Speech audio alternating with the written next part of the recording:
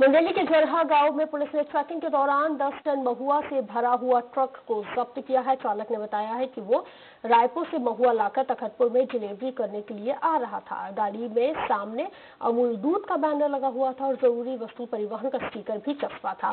लेकिन ट्रैकिंग के दौरान पुलिसकर्मियों को महुए की महक आई, जिसके बाद ट्रक की तलाशी ली गई तो उसमें से दो सौ पचास बोरा महुआ पाया गया, जिसे पुलिस ने जब्त कर आरोपी चालक को भी गिरफ़्तार कर लिया।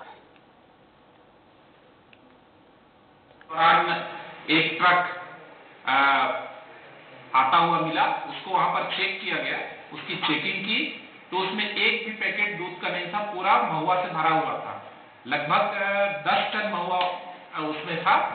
तुरंत इसमें लॉकडाउन के नियमों का उल्लंघन करने पर धारा एक सौ अट्ठासी आईपीसी प्लस वन अधिनियम वन अधिनियम की धारा चार, छत्तीसगढ़ वनोपज व्यापार नियमन उन्नीस के तहत कार्रवाई की।